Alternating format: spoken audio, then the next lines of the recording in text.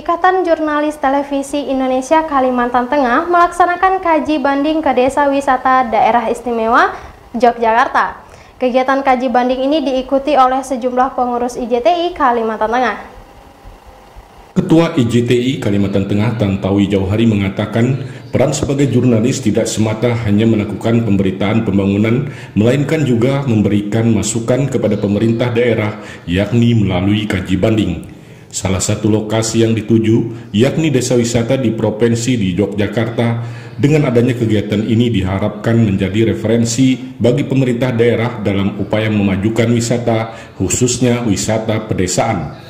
Tantawi mengatakan kegiatan ini dilaksanakan untuk belajar bagaimana mengelola pembangunan pariwisata unggulan berbasis potensi karakteristik wilayah pedesaan sehingga mampu menarik minat wisatawan dan pada akhirnya dapat menyumbang pemasukan bagi pendapatan daerah di sektor pariwisata.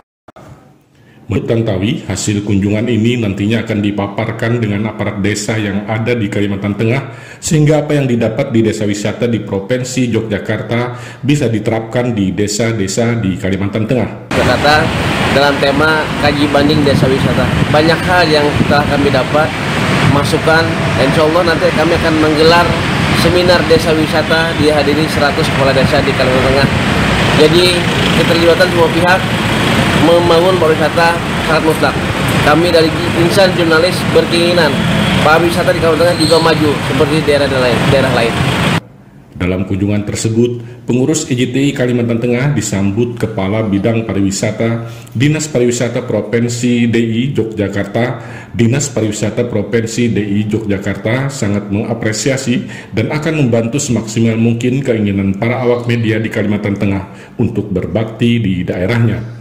Tim Liputan Jurnal TV.